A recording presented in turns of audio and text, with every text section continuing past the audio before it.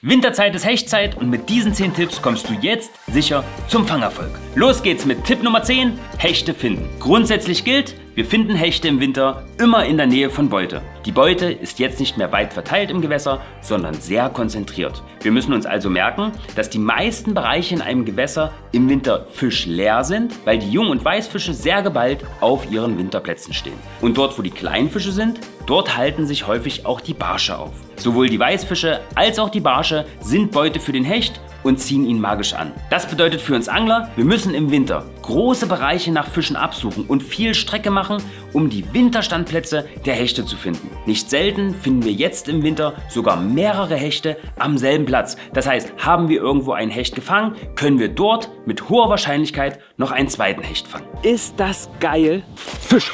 Da ist unser Köder, da ist unser wunderbarer zweiter Winterhecht.